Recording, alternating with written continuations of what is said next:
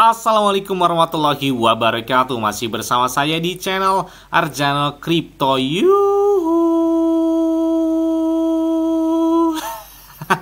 Hai. Woi, apa kabar kalian hari ini? Semoga kalian hari ini luar biasa. Karena market lagi Bullish, wow, mantep banget nih Bitcoinnya di angka 1,1 miliaran rupiah atau setara dengan 69.700an dolar. Jadi, wah, kencang banget nih di minggu ini. Sepertinya Bitcoin standnya lumayan di angka 69 ribuan dolar.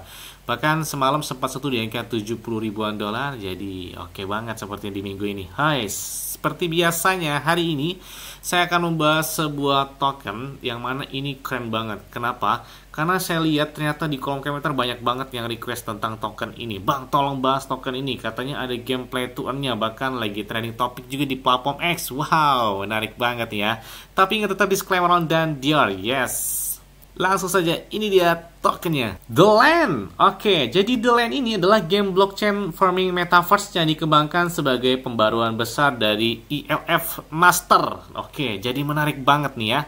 Arena of Light and Darkness dan pemain itu dapat menikmati farming atau bertani dengan cara baru di The Land ini yang memanfaatkan token termasuk produksi dari tanaman, pembangunan kota dengan memperluas uh, antar kota dan guildnya dan fitur metaverse juga itu merupakan aspek penting dari The Land ini. Jadi NFT Elf Masters dan banyak NFT lainnya tersedia untuk avatar The Land dan kalian bisa lihat bahwa pemain juga itu dapat mengembangkan uh, seperti land mereka sendiri dalam metaverse yang merupakan land NFT ini tuh dalam permainan mereka. Jadi ada beberapa mitra, ada beberapa perusahaan pengembangan dan land itu bersifat uh, dapat merancang land mereka atau bekerjasama dengan beberapa pengembangan lanjutan. Ini direncanakan masuk dalam uh, eh, ELF Master jadi Arena of Light dan Darkness ini itu dan game mereka juga akan uh, dalam ekosistem Valid Chain sebagai land mereka yang berfungsi sebagai pusat interaksi pemain dan pengenalan dari game lainnya. Jadi memang benar-benar unik gitu ya di sini The Land itu. Selain ada metaverse, ada NFT dan mereka juga memiliki token mereka sendiri. Wow. Jadi di sini mereka tersedia dari beberapa bahasa ya, termasuk ada Inggris, Jepang, Indonesia juga ada kalau nggak salah ya. Jadi lengkap banget untuk bahasa dari The Land ini. Mereka juga sudah meluncurkan white paper, nanti kita ulas semua dari white paper, dari media sosial mereka. Jadi ada platform S atau Twitter, pun dari Discord mereka. Oke, kalau kita lihat di sini, kalian setiap hari bisa mendapatkan uh, eh, EF token dan mendapatkan sampai dengan 100.000 yen antara metaverse dan bermain game mereka. Jadi kalian enak banget kalian bermain game, kemudian melakukan metaverse mereka dan kalian bisa mendapatkan 100.000 yen dari permainan The Line ini. Wah, enak banget kan? Jadi eh, bagaimana The Land EF Crossing ini tuh melakukannya? Jadi The Land ini adalah permain, permain permainan blockchain yang memang dirancang secara gratis gitu ya untuk dinikmati untuk semua orang. Eh, terlepas dari tingkat pengalaman mereka sendiri, ini memanfaatkan fitur unik uh, dari wallet chain seperti uh, tanpa biaya lah ya dan beberapa dukungan untuk pembayaran off chain seperti kartu kredit dan pembayaran operator seluler uh, dengan menggunakan master NFT dan LN NFT. Jadi game ini tuh memang menawarkan aktivitas produksi yang lebih efisien kalau menurut saya dan bahkan efektif khusus untuk meningkatkan pengalaman game secara keseluruhan bagi penggemar game blockchain ini dalam game ini juga itu kalian dapat download langsung di App Store atau di Google Play Store. Wah, unik banget nih. Ini enak banget kalian bisa download di HP kalian sendiri ya. Jadi dalam game ini kalian bisa berteman dan bertemu dan bahkan bertukar dengan beberapa item dan pemain lain. Bahkan kalian juga bisa berkomunikasi dalam game ini melalui beberapa fitur chat Nah, berhubungan dengan sekutu dalam game meningkatkan kenikmatan pengalaman bermain game ini. Jadi enak banget gitu ya. Kita bisa berkomunikasi dengan dengan teman-teman atau komunitas kita di dalam game ini. Jadi metaverse dengan tujuan mereka adalah di mana komunitas dan kreasi itu akan dikembangkan melalui The Land ini. Nah, menginisiasi target pasar dan menciptakan distribusi yang memang luar biasa dari The Land ini. Kenapa? Karena kalau kita lihat bahwa e, mereka ini kan menjalin bangunan chain dari palet sendiri dan secara strategis mereka ini memilih uh, Solana sebagai platform blockchainnya karena fitur ini memang unik bagi pallet chain. Dan seperti tidak ada biaya jaringan dan dukungan untuk pembayaran di off-chain seperti kartu debit dan pembayaran operator seluler. Dan penggemar dari game simulasi ini, kalau kita lihat ya, produk dan pengalaman The Line ini dibuat untuk penggemar memang game simulasi. Ada tiga subsistem ya, pemain utama, ada farming, ada kreatif, dan sosial.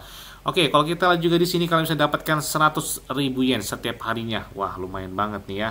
Nah, kalau kita lihat uh, farmingnya ini, nah farmingnya ini kalian bisa menanam tanaman dan membuat sesuatu. Kalian dapat menanam tanaman dan menggunakannya untuk membuat produk lain. Kemudian kalian bisa menaikkan level dan buka lebih banyak. Semakin banyak kalian melakukan farming, semakin tinggi level kalian, maka level yang lebih tinggi itu berarti uh, tanaman kalian itu yang baru dan bangunan dan cara membuat sesuatu yang tersebut mereka juga dilakukan di dalam farmingnya tersebut. Kemudian kalian juga bisa memperluas uh, tentang game mereka karena di sini kalian bisa memperluas lahan pertanian atau farming kalian. Saat kalian membangun lebih banyak barang ada lahan pertanian kalian juga akan bertambah besar. Dan ini memungkinkan kalian tuh e, menanam lebih banyak tanaman dan menghasilkan lebih banyak barang yang berarti lebih banyak mendapatkan penghasilan uang. Jadi lumayan banget loh 100 ribu yen per hari. Jadi setiap hari e, kalian bisa mendapatkan hal tersebut. Nah, di sini juga ada keunikan lain kalau kita lihat di ekosistem dari si uh, The Line ini, mereka kan sudah menunjukkan white papernya. Ada farming, ada kreatif nih. Kalau kita lihat kreatif ini, jadi kalian uh, itu dapat menyesuaikan avatar baik dari rumah, baik dari land atau kota dan dalam game sesuai keinginan kalian sendiri dengan tingkat kebebasan yang memang tinggi banget gitu ya di sini. Jadi kalian bisa berubah sekreatif mungkin ya dengan menggunakan uh, kreatif dari si The Land ini. Kemudian ada aktivitas sosial dan di sini kalian bisa lihat ya bahwa uh, land itu bukan hanya tentang bertani saja atau farming saja. Tapi kalian itu dapat mengunjungi uh, peternakan teman kalian, bisa mengobrol dengan mereka dan bahkan membantu mereka menanam gitu ya. Ada juga acara menyenangkan seperti uh, turnamen memancing di mana kalian juga bisa bersaing uh, dengan uh, orang lain dan bahkan kalian juga dapat bertukar barang atau uh, dengan teman kalian mengundang mereka seperti di peternakan kalian misalkan kalian lagi berternak uh, sapi atau hewan-hewanan peternakan di land kalian. Nah, kalian bisa mengundang teman kalian di dalamnya tersebut. Jadi, ini benar-benar uh, kita yang ada di dunia nyata ditumpahkan di the land ini ke dunia metaverse. Seperti itulah ya enaknya gitu ya. Nah, di sini juga mereka menciptakan sistem pengalaman play to earn. Jadi kalian bermain dan bisa mendapatkan penghasilan. Ada tiga jenis mata uang utama di The Land itu. Yang pertama itu ada ELF token Nah, jadi EF token ini adalah mata uang premium utama mereka yang diperoleh dengan pembeliannya di bursa mata uang kripto, memperdagangkan tanaman khusus dari Star Corps NFT dan memenangkan kompetisi. Jadi kalian tuh dapat menggunakan ELF ini untuk mendapatkan keuntungan dalam permainan games tersebut ya. Seperti memang pengalaman yang lebih nyaman melalui sistem bintang tersebut. Nah, kemudian juga ada ELF Gold atau EG ya di sini ya. Mata uang ini itu diperoleh dengan membelinya langsung di dalam game atau dengan menyelesaikan misi. Jadi kalian tuh dapat menggunakan EF Gold ini untuk mempercepat farming kalian. Jadi membeli item yang kalian pertukar yang perlukan untuk melakukan farming ini dan menyesuaikan avatar kalian itu dengan menggunakan EF Gold tersebut. Kemudian juga ada ELF Silver atau ES ya di sini. Ini adalah mata uang yang paling umum ya, paling rendahnya lah kurang lebih seperti itu ya. Nah, memang diperoleh dengan menjual hasil panen dan mendapatkan hadiah dalam bentuk game tersebut. Jadi kalian itu dapat menggunakan EF Silver ini untuk membangun bangunan di land kalian sendiri dan membeli barang bahkan dari pemain lain di marketplace tersebut. Jadi enak banget kan keuntungan dari beberapa token dari si The Land ini. Nah, kalau kita juga ada beberapa sistem yang bakal mereka lakukan ada sampai dengan 5 sampai dengan 30 bahkan 50% buat staker di sini. Kemudian aktivasi fee-nya juga mereka jelaskan juga di sini ada beberapa item NFT juga mereka sudah sampaikan di sini NFT-nya, trading NFT item. Nah, ini ada beberapa selling bisa kalian tukar dengan beberapa farming di dalam metaverse mereka. Jadi, ini sangat uh, terhubung ya. Jadi sangat terhubung satu sama lainnya di sini.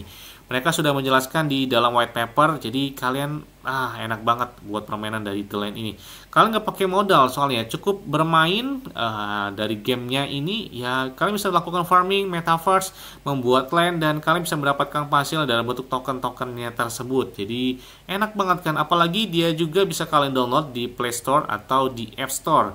Jadi ini memudahkan kita untuk mendapatkan penghasilan tersebut dengan melalui handphone kalian masing-masing. Nah, ini kalau kita ada ELF token mereka, itu supply-nya itu hanya 1 miliar token. Jadi nggak terlalu banyak kalau kita tokenomic mereka. Ini uh, terhubungan dengan beberapa game mereka termasuk ada staking reward pool, ada staking reward, ada EFL sell, ada staking, ada star crop. Ini mereka sudah pecahkan. Jadi kalian bisa lihat di roadmap mereka uh, tentang terhubungan dari EF token ini. Bakal mereka juga bakal terdapat di beberapa exchange crypto dunia. Nah, ada kegunaan token tersebut itu ada stakingnya. Jadi ada staking, kalian bisa mendapatkan reward dari staking tersebut. Nah, staking ini AP-nya bervariasi, kemudian uh, waktunya juga itu bisa dimulai dari satu minggu, tujuh hari, satu bulan, bahkan satu tahunan. Jadi kalian bisa lakukan staking untuk mendapatkan penghasilan secara pasif ketika market lagi bear atau lagi bull run. Nah, ini Alcosi tokennya, mereka juga sudah membagikan semuanya. 16% tim, token salesnya 10%, game reward 31%. Jadi kan saya bilang, ini game rewardnya besar banget. Jadi kalian bermain game bisa mendapatkan penghasilan, karena mereka bagi sampai dengan 31% di sini ya. Kemudian marketing 9%, game ecosystem fondnya 5%, staking reward 9%, liquidity dan exchange listing itu 12%, advisor dan partner sekitar 8%. Mereka sudah bagi di alok tokenomic mereka ya, alokasi token mereka sendiri. Ini ada beberapa game reward juga, kemudian juga ada Earthcon IEO Fund Use, ini sudah digunakan. Kalian bisa lihat, uh, mereka sedetail dan seterbuka ini gitu ya dari The Land ini. Kemudian mereka juga bakal mengembangkan beberapa sayap mereka kalau kita lihat di peta jalan ini. Ada beberapa hal termasuk ada menambahkan beberapa kolaborasi besar ke depannya. Jadi kita lihat beberapa partner mungkin uh, mengembangkan uh, beberapa game-game besar yang terhubung ya. Ini beberapa land partner secara langsung ini beberapa game yang sudah terhubung dengan si The Land ini. Jadi kalian bisa lihat ini lengkap banget di white paper mereka. Kalian juga bisa lihat bahwa komunitas mereka di Twitter aja atau di platform S itu udah hampir mendekati 14.000 follower. Jadi kalian bisa lihat uh, tentang aktifnya dari The Land di platform X atau ada juga di Discord mereka. Nah, Discord ini bisa menggunakan bahasa Indonesia, bahasa Inggris, bahasa Jepang, eh, dan bahasa beberapa negara lain yang sudah terhubung. Jadi enak banget kalian bisa mendapatkan informasi tersebut karena komunitas mereka secara global ya. Bahkan ada negara Bangladesh, India, Filipina, Argentina, Amerika Serikat, China, dan banyak banget di sini ya. Makanya sambil jangan sampai ketinggalan kalian follow di Twitter mereka, kemudian maupun di Discord mereka. Jadi ini penting banget buat mengetahui beberapa update tersebut. Di sini juga ada PLT uh, eh, exchange mereka, ada PLT place mereka. Ini ada beberapa range uh, buat uh, token dari CELF tersebut. Ada 100 ribu, ada 8 ribuan, ada 800an. Jadi sesuai dengan item yang kalian pilih ada diamond, ada gold dan silver. Bahkan yang paling murah itu adalah bronze corp ya. Bahkan nanti buat The Land LF Coursing itu pada tanggal 10 April mendatang mereka bakal terdaftar di Maxi Global. Wow, keren banget ya. Kalian juga dia juga bisa mengadakan beberapa event termasuk mendapatkan 1000 USDT. Wah, special quiz ini kalian bisa lihat bahwa uh, The Land ini bukan kaleng-kaleng ya, tokennya bukan baru lahir tapi langsung ini. Tapi mereka sudah memiliki beberapa project yang memang luar biasa banget terutama dengan beberapa penghasilan dari game mereka. Jadi kalian bisa download juga di Play Store atau di App Store dan di Land ILF ini enak banget mendapatkan penghasilan dari ya recehan tapi berasa gitu ya bahkan tanpa modal tapi cuannya lumayan banget sampai dengan 100 ribu yen. Enak banget kan? Apalagi mereka bakal terdaftar di beberapa bursa terbesar. Ini udah gerak banget di Maxi Global dan banyak banget target selanjutnya mungkin seperti Coinbase dan Binance. Nah yes jadi mungkin itu aja yang dapat sampaikan kepada kalian semua. Ingat-ingat ya semua yang disclaimer on dan Dior Kenapa? Karena pada keuangan dari kalian sendiri selalu gunakan uang yang aman dan santai. Jadi apabila market dalam keadaan bullish, bullish dan bagaimanapun kalian tetap tenang dan santuy. Terima kasih.